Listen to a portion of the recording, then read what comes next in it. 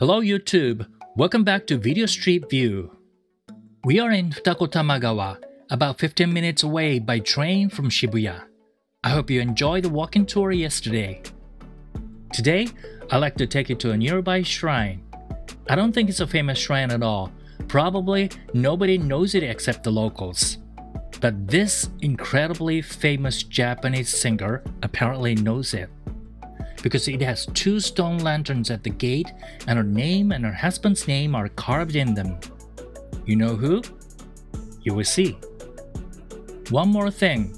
This video is not just a walk-in video, but also a virtual worship video too. To go to shrine in Japan, there's a special manner required.